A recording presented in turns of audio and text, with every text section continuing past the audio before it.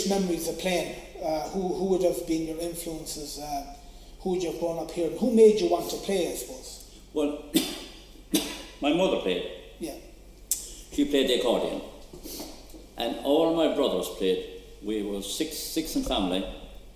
And there was no electricity in this house we lived in at those, this time back in the, the 50s, Yeah. 40s, you know. Yeah. And uh, at night, everybody would take the accordion, go up in the room, Jesus. and play. Wow. Uh, and you, you, all had your own accordion, I think. No, no, there was oh. only the one accordion. Must be joking. Must have only the one accordion probably in the village. Wow, right, right. So uh, you all played in the house then? All the brothers played? We did, yes. Uh, all the brothers played, but we got it from my mother. Right. And she played until she was nearly 100. She died a month short of a hundred, Wow. and she was playing her little accordion right up to the end. Lovely, Unreal. lovely polkas and Yeah. slides and everything. That time there was no such thing as tape recorders or anything like that. The uh, music was passed. Uh, there'd be house dances. And an awful lot of people in the village would play the accordion. Accordion was sort of the uh, instrument in our village, our area. And the accordion would be passed along from one to the other. To, throughout the village. Well, no, Or through, throughout the house. throughout the house at yeah, night. Yeah, yeah, sorry, yeah. And uh, each one would play, and again it was many sets they were dancing. Half sets in the front of the, at the front of the fire, the flag, Flag flag floor, floor. yeah, yeah. So, so music was really, uh, it was connected very strongly with dancing. Like the, it, it was, it was was. maybe the reason they played. Yeah, They it was. dancing, yeah. It was dance, dance music, Dance yeah. music, yeah, yeah. Mhm. And um, so, and, uh, and your, your, your mother's people, like, did they, she came from that village, or is she from? Uh, a village further on called Okay. Downymore. Right. Yeah. And like her family, would you have uncles or aunts that would have played, or was there any kind of other members of her family that would have played? Uh, funny enough, not that I know of. Uh, a lot of them went to America, but I never heard them of anyone else in the family playing that I knew of, anyways. All right, right. And, and, and- and your brothers and stuff, like, did, did they, would they have continued playing as they're kind of grown up in their teens like yourself? Like, would they have continued Uh, playing? Or, Yeah, one especially, Joe, my brother, he played with me on the band for a while, right, and he loved playing. He really, poor man got a stroke and he couldn't play any longer, and it broke his heart. okay, it broke his heart. yeah. Mm. So music was very important To It was in our house, in, yeah. in yeah, the house, yeah. okay. So yourself, you, started very young, I take it. Then it was it was a very common thing in your house to play music. It you were was. surrounded by it all the time, I take it. Yes, Yeah, and then there was a little dance hall. Uh, they had sort of graduated from the, the house dances to the dance halls. An old school would be yeah, conducted. Uh, there was one of them near us at home. And I used to play, myself and another fella, he was a drummer. We used to play there for the dances. It off that like that. And why do you think that have um, that would have evolved that way? That it would have left the house dancing and gone into this bigger room? Is it because there was more interest in it, or less people interested to have everyone over at the Well, house? in, in the house dance, you could only fit in a half set. Okay, Whereas in, in, in a Yeah. big theatre, you, you could fit in many, many Okay. sets. But the dance sets and quick steps and waltzes and foxtrots, you know. yeah, That was the dances for the night. right. As they're still at And they're that. still at it, yeah, yeah, yeah, yeah. And, uh, and so you'd have kind of, can, can, you remember like the first time you kind of went out playing then? Like so you, you, you, you- you grew up in Drummond, you, you went to school. Was there music in the school, for instance? The school you went to? Mm, not really, No. no. no, no. this is the first place I went out publicly in this little dance hall, this Right. old school. Okay. Uh, What age would you have been? I'd have been only about 15, I suppose, All 14 or 15. Yeah, yeah, yeah, yeah. Uh, and then my brother Joe played with me there as yeah, well. yeah, yeah, yeah. We would play there once a week, sort of thing. Gee, that's fantastic. Yeah, yeah. And then it sort of grew from that. Uh, we were asked to play in another hall, and we added a couple more to the band. Like Fantastic. uh, there was no such thing as guitars that time, but um, a year or two after that, uh, guitars started to get popular. Mm-hmm. And there was a fella who was in England, Fonzie Cannon, and he came home and he could play the guitar. And I got him to go on the band with us. Fantastic. Well, that was big time now. Band was like, you know, Yeah. a guitar on the band, my Yeah, God. yeah, yeah. It wasn't every band that had a guitar player. Oh, no, no, no, no, no. And what year would this have been? So the start of the band. That'd be about, that's uh, late 50s. Okay. Huh? All right. late fifties Yeah. it started. The band, the, the band lasted for 27 years. From 1957 and 27, bring 27 forward. Uh, it lasted that length. Amazing. We were in uh, the era of the show bands, you know. Yeah, yeah, yeah. There was a 15 year uh, time, 15, over 15 years, there was about 500 show bands in Ireland. Full time, was some of them full time, we we weren't full time now. 500. 500, yeah, oh yeah. And earning great money, like all the big ballrooms Yeah. were built during that time as well. All the big bands grew up. We were a small little band, four piece and five piece. And we done all the local halls. So I was dancing about five, nearly every night of the week that time. Because there was no such thing as television or radio or nothing. Back in the 50s, the late 50s, uh, all of them started to come in gradually, you know. So, so because of like nowadays, it's hard to imagine a time without even even radio or in a house or television in a house. But then there was none of that. So their, their only social outlet and entertainment Was, was, was the dance hall, the dance house. yes. And would there be a, a, a performance every night or every couple of nights in the week? There'll be dancing, be a dance somewhere every night of the week you want to go to it. Wow. Maybe not Monday night, but Yeah, yeah, yeah. uh, and the the men went to the pub. There was no women never went to the pub that time. They went dancing, and in the early part of the night, the women would come in and they'd all dance with each other, and then the men would come in at about eleven o'clock, and the dance went on until one o'clock. And we'd be playing for maybe four hours. And it was all kind of foxtrots and waltzes What- and, yeah. and stuff. There'd yeah. be Siege of Ennis, Oh, and then a couple of traditional sets. Yeah, yeah, yeah. all these were mixed in. Okay. And, and do you find that even when you look back, was there as much of an interest in, we say, the traditional sets? Because I, I could imagine jives and foxtrots and waltzes were always very popular among dancers. But was there an equal amount of interest among people for set dancing? For instance, uh, like like uh, Siege of Ennis or, or Yeah, there was, but it wasn't very well done in our area now. Like Clare would have Yeah. properly done. Like as regards to sets and things like that, there was one set that used to be danced all the time in all the different areas. Uh, the Dorada set now is, is, is resembles it. But uh, the dance the Siege of Ennis then, and it was the dance and swing until it fell on the ground, and you know it wasn't Yeah. very well structured. No, no, no, no. Not So- until the wave of set dancing came on and teachers came and taught her properly, you know. Okay, okay. And, and where do you think these people in, we say, Drummond or these areas, where would they have been learnt or, or taught to dance, do you think? Like, uh, because, as you said, this was before the time of structured uh, teaching and, and, and, and kind of being told kind of how to dance properly. Like, Yeah. would these people just have picked it up off their... Well, this particular set, it was, it was an easy set to learn, and that was danced all the time, but only in having four people dances, whereas full set is eight, like, you know, and they'd only dance half set because there was only room for them. They were dancing on flagged floors in these old thatched houses at the time.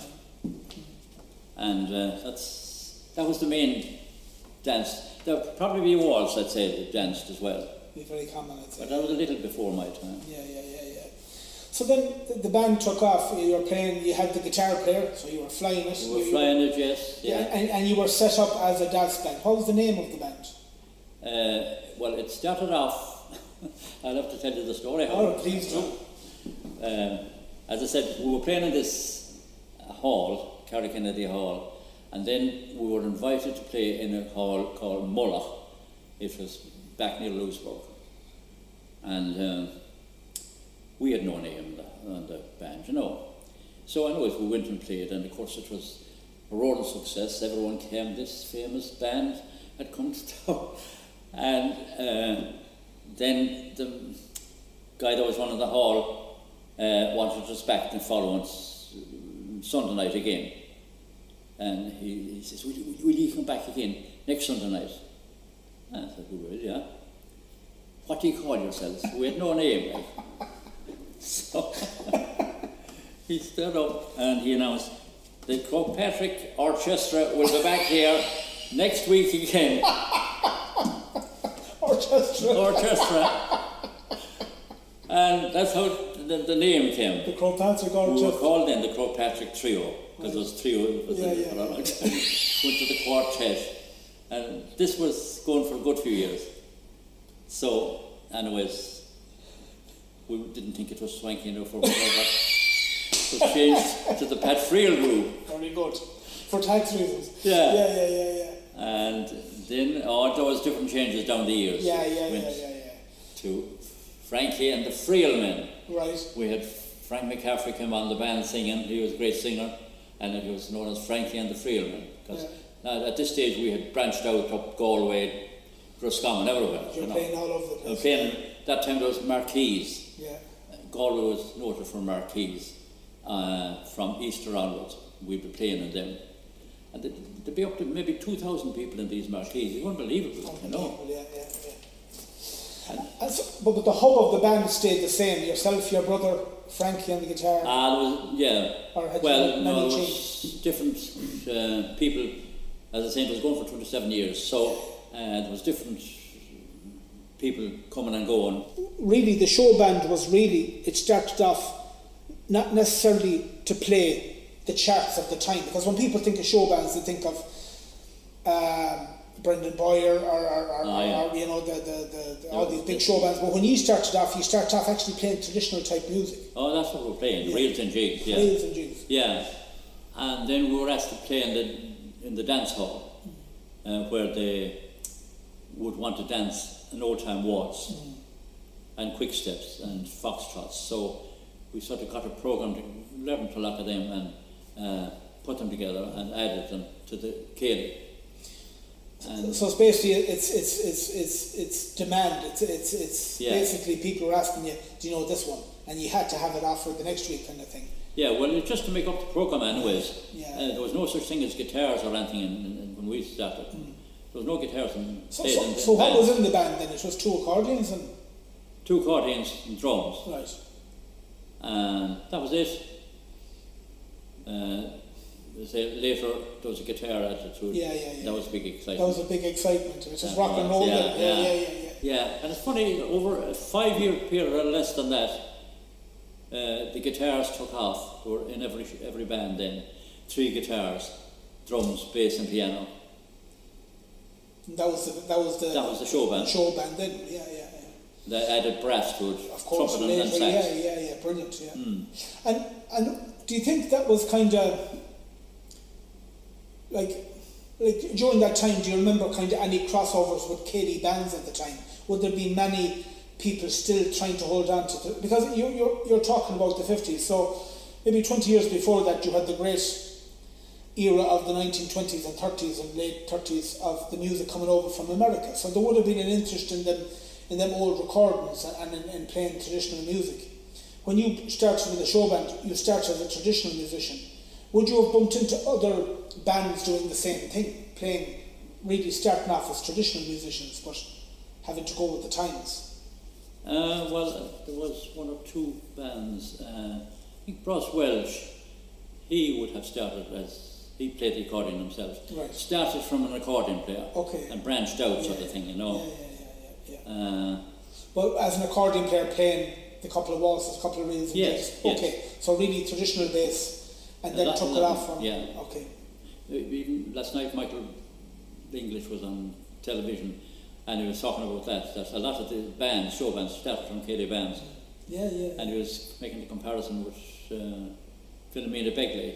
She was asked as a young girl to play in, uh, sing in a, uh, a, um, a Céilí band, the Old Cross Céilí band. and it branched out from that into. And that was her introduction to. That was her introduction. music. Yeah, yeah. So its importance is there, like I mean, because the, the, the, these hits or these charts, where were people hearing these? Were they coming after well, the then that was that was the British that, that started the, the, when the Beatles the Beatles sort of kicked off the popular music, pop music, and the Beatles and the Rolling Stones, they were the two first influences, and again like that, loads of groups started up after them, and them uh, started a weekly chart, the BBC did, uh, playing these popular bands and who would be up on the top. And we were talking later, later about records and all that, who sold the most records and how you got into the charts. Yeah, yeah, the stories about yeah, that's how that started. Yeah, yeah, yeah, yeah, yeah. And uh, they would be playing the popular music of the, the time. Mm. So radio stations you're talking about then, how important are they? The radio stations? Yeah, yeah. Like they would have been playing these hits from England and America, for instance. No, it was all big band and okay. back stuff. You wouldn't hear it. They had to start a um, pirates. Pirate station. The pirate station. Okay. A ship. Yeah, yeah, yeah. Out in the. In the yeah, yeah, I heard that one. Yeah. That's how that started okay. to play pop music. Okay. Because the, the BBC's or RT wouldn't play it. So what, what were the radio stations playing at that time then? What, big big band stuff. Okay. Uh, Joe Lawson. Mm. Uh, there were a lot of big bands being played, and that was the music. That was the, the, the, and that was the the dance bands was at, at that time. They had uh, brass lineup, mm. trumpet, trombone, sax, and piano and double bass and drums, and a singer out front. Mm. That was how the band, and they all sat down. And uh, show, the Royal Show Band Clipper Carlton was another band that started all, they stood up, they threw off, threw away the chairs, stood up and started playing and singing, and they call them uh, show bands. They started it all off. So it, it was just a change in, in, in perspective or a change yes. in how they looked at things and yeah. maybe more modern, more youthful kind oh, of way yes, of playing. that's yeah, right, yeah. yeah, yeah. yeah. Wow. Well, great times. Yeah, great. It sounds like, especially in the times we're in now, which is something we'll talk about later, is with this COVID business and how we're kind of, yeah. Um, for instance, the two of us play and play in the very pub we're in at the moment, Matt Molloy's. You've played here for nearly since the doors opened. 30 years. 30 years yeah. in the one corner. And we're sitting in the same pub today where there hasn't been music here in nearly seven months. No. And that's a strange time, in, even in Irish history. Like I, I can't, the stories you're telling of 2,000 people in a marquee, back in the 60s as opposed to today where we're, we can't even go into a pub and play. Yeah. Mm. Uh, with our modern times and all that. So yeah. it's kind of very, very weird how things have changed that much. Um, but as regards the, the traditional music then, uh, that, that didn't come until later. Mm. Uh, there was always traditional players around, you know. Yeah, yeah, yeah. yeah. Good dress and everything yeah, like that. But, but, but for yourself, we'd say, so you're busy with the show band thing, this was booming. Kind of what period did you see a change in that? Because we know that the show band scene kind of dipped a small bit as oh, well. It did. It, what happened then to the show bands, there were, uh, all the bands were playing in those old halls, like, and there were no heating or nothing in them. And for, for, in winter they were uh, cold, yeah. cold, you know. Yeah, yeah, and uh, somebody started to play records in a pub, you know, and it, they called it a fancy name, the discotheque. You know where they got it, foreign name. And the discotheque, anyways, sort of quenched the, ba- the show band. Oh, okay. That, that, yeah. was the, that was the death of the show That was the death nail of the, the show oh, band. Kind of electric music, kind of yes, records. they improved on, on the disco, the disco then it was called. And um, uh, what year would that have been, like roughly? What kind of period of time? 70s, that brought us up to the 70s, I think. Okay, so that was a... Yeah. Uh, so... And then the band, like so, so the, the Freeman, Well- whatever it was called at the time, when does... These 500 bands were nearly all gone off the road. Uh, over uh, probably less than a five year period, you know, because the discos caught on quick because the, the, the girls, at this stage, the girls were going into the pubs as well. Right. and they didn't want to go to an old cold hall, couldn't get a drink or nothing. And the discos took over Right, yeah. and quenched the bands Wow. in a short period of time, you know. So it's basically demand uh, of circumstance, like, like, Yeah. didn't want to go into the cold halls, there's nice music down in this pub where there's heat and I can have Yeah. a drink. So, yeah, okay. And the fella that was running the disco, he didn't have to pay a band, he just played records.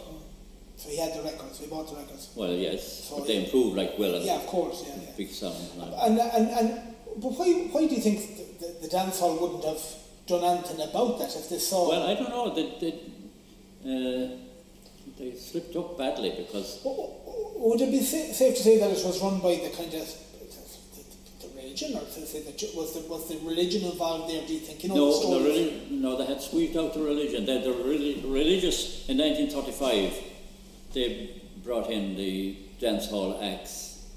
Uh, they have to have a license to run a, a, a dance. Yeah. But they had more or less been squeezed out of it. It was big promoters would uh, come in, like they'd be getting up to 2,000 people, nearly 3,000 people sometimes in these halls. There was a, a hall, the, the Royal Ballroom in Castlebar. If you didn't put in 2,700, your band wouldn't be in the next week. You had to bring in the crowds. Big Tom and all these bands like could bring them crowds, sort of crowds. There was only a handful, maybe 10 bands would bring that sort of crowds, you know.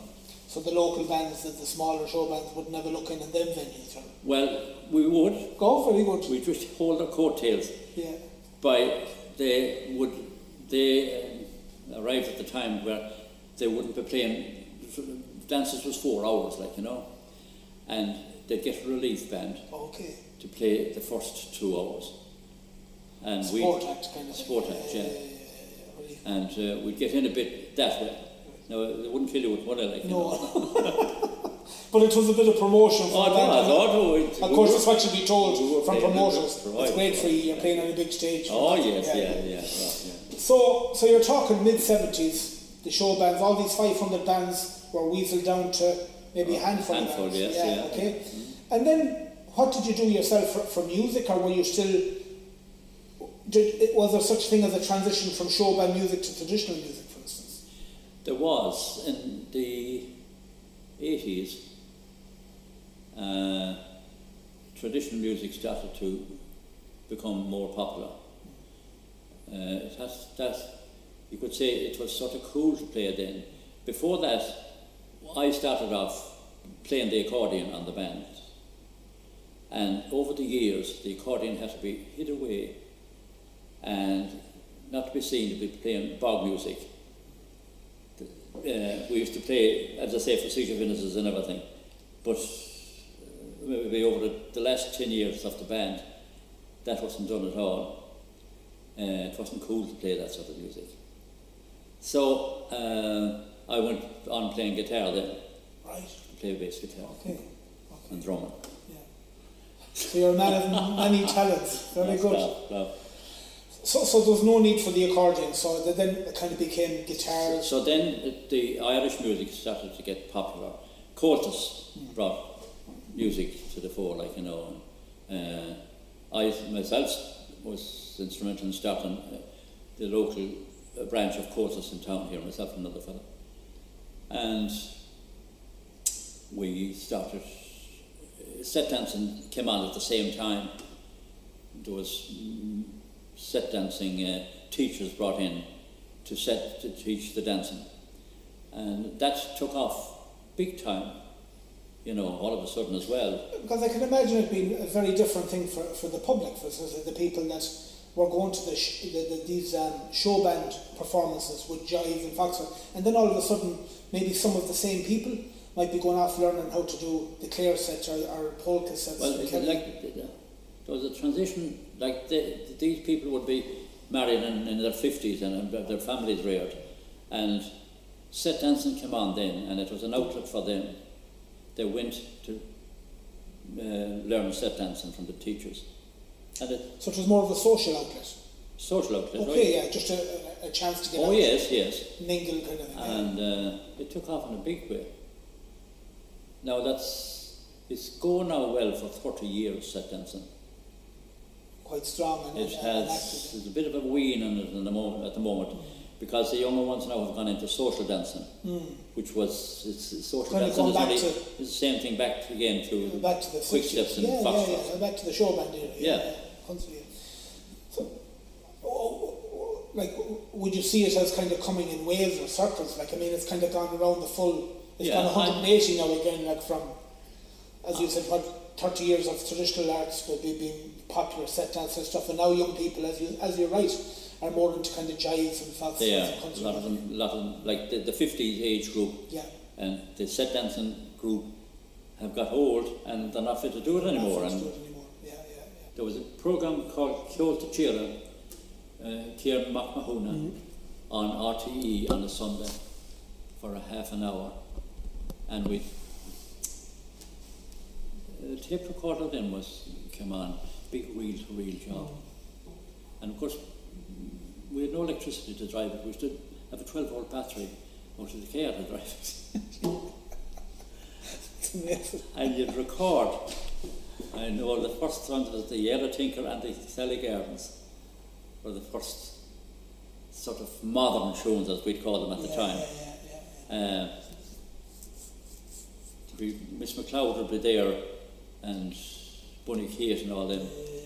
But these were sort of the modern ones that, Yeah, we, yeah. that we heard for the first time. yeah, yeah, yeah, yeah. Uh, But, but would you have heard anything about, we say, the Colemans and Morrisons as you're growing up to John? not that much, No. really. No, not that much. So, so your mother, your mother was just playing tunes that she heard in her locality. Like. Yes, and they were just uh, heard between each other, and bits of it got in the brain, and maybe get another bit the next night. And polkas and slides, it was great at them for the dancing.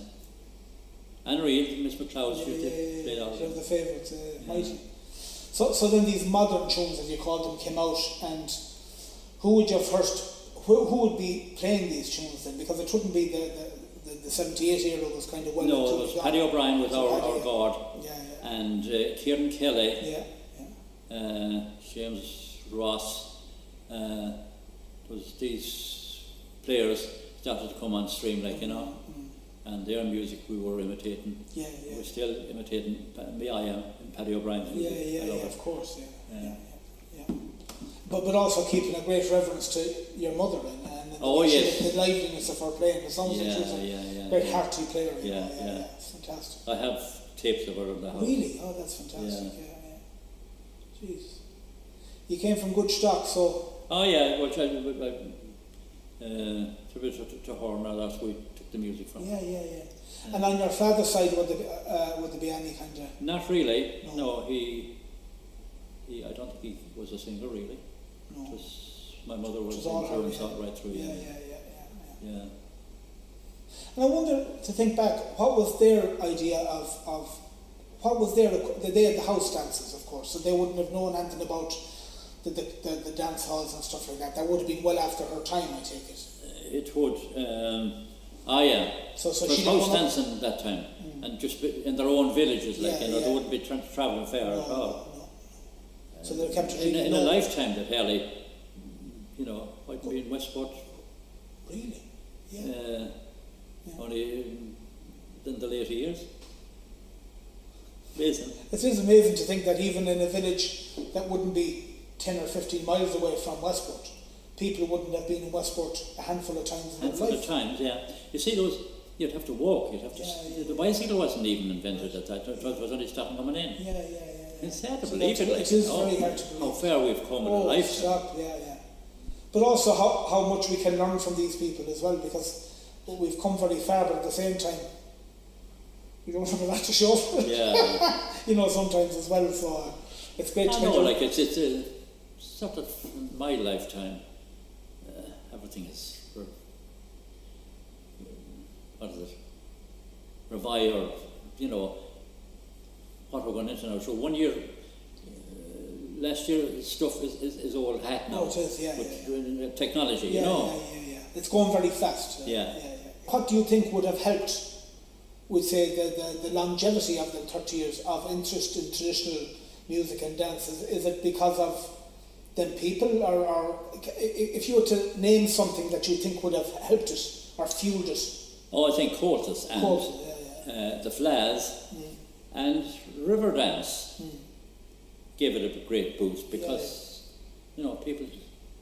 Um, Irish dancing was done in a different way, and yeah, I think it's still going. Like River Dance is touring the world all- all the time, and that uh, gave a, a boost to the Irish music as well. Well, culture in general. Culture, yeah, yeah, yeah. yeah, yeah, because yeah. So, so, but, you think it, it was more attainable for people? In other words, they seen it on the telly, so Oh yes, it became it became something cool. special. Cool, yeah, became so cool much, to yeah, play it and to listen to it. And as the kids was growing up, they were all going learning Irish music.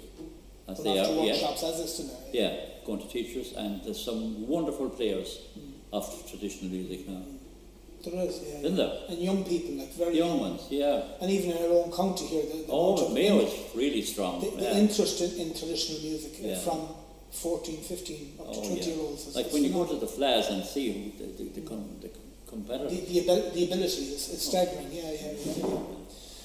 So, the times we're in now, as I said, we'll move on now to uh, the, the current, the, the times we're in. You played in this pub, Matt Molloy's, for 30 years. Yes, Yeah, it's one of the first places I got to hear you playing, in the corner there with Lean. yeah. Seven months ago, don't come in tonight, or don't come in tomorrow night, or don't come in no, next we thought it would be last for a few weeks. A couple of weeks. We're still at it We're still seven at or eight months later. What are you doing during these times, musically? Or, Nothing really. right. There's no place you can go to No. play anymore. because No, no. music is closed down. Like Yeah, it doesn't. Uh, Would there be any? Would you take it out in the house? I might take it out for an odd tune, but then you don't seem to. no, it's not. After uh, ten or fifteen minutes or while playing, same interest in it. No, you no, know. no. You don't have the buzz from playing No, for people. but Yeah, nobody bouncing tunes off yeah, you or anything like course, that, like to, course, yeah. to Yeah, yeah. That, that you've been used to. You're used That's to. what used to, yeah. It's a very social music. You need other people to, like Yeah. you said, bounce tunes off and, and, and energies off. And, Like uh, the, popularity of the music then, uh, when Matt Molloy opened here 30 years ago, uh, Westport is like, there's two things you come to, to do when you come to Westport. You climb Patrick, that's the first pilgrimage, and the second one is you come into Matt Molloy's to hear Irish music.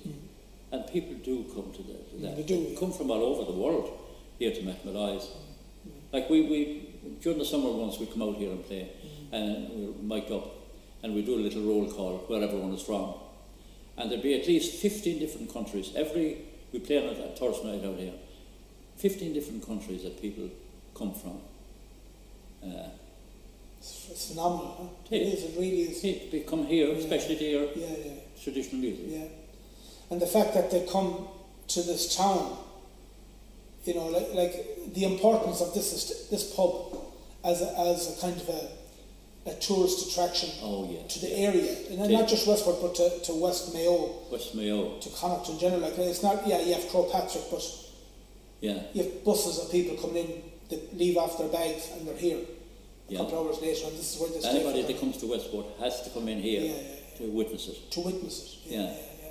It's phenomenal. Yeah, amazing. Have you any, if I, because now I'd like to pick on some of maybe stories or something you could regale us with from over the years. You mentioned one very good one about down my part of the country earlier on, and uh, if you have any more kind of, yeah, Oh, I don't know, uh, really. or even memories from here, like, I mean, we'll start off with our characters you'd have met our, or kind of stories about them.